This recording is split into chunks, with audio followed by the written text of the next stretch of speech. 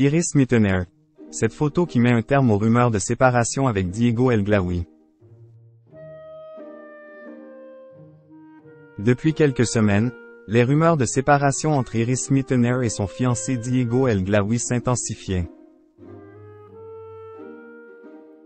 Alors que les deux influenceurs ne s'affichaient plus ensemble sur les réseaux sociaux.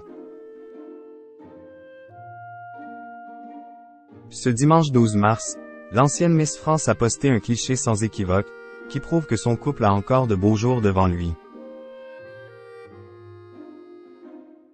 En février dernier, Iris Mittener rejoignait la région parisienne, plus précisément le château de Ferrières, pour une soirée inoubliable où tous ses amis l'ont rejoint pour célébrer ses 30 ans. Alors que du beau monde était présent, Diego El Glaoui, le fiancé de l'ancienne Miss Univers, a brillé par son absence. Rapidement, les rumeurs de séparation se sont intensifiées sur les réseaux sociaux, au point que l'influenceur ne se décide à prendre la parole, en commentaire de l'une de ses publications. Vous allez trop loin. Au regret d'annoncer que je suis juste malade depuis un moment, et je n'ai pas pu prendre l'avion. Je ne suis pas du genre à partager ce genre de mauvaise période sur Insta pour ne pas inquiéter mon monde et faire du misérabilisme, donc je n'ai pas posté ces derniers jours. Avait-il écrit?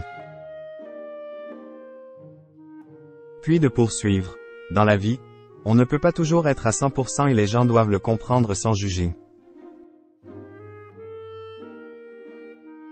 J'ai déjà fêté les 30 ans des le 25 janvier avec les 30 personnes les plus proches, ce fut une magnifique fête, donc ce souvenir restera pour moi celui de ces 30 ans.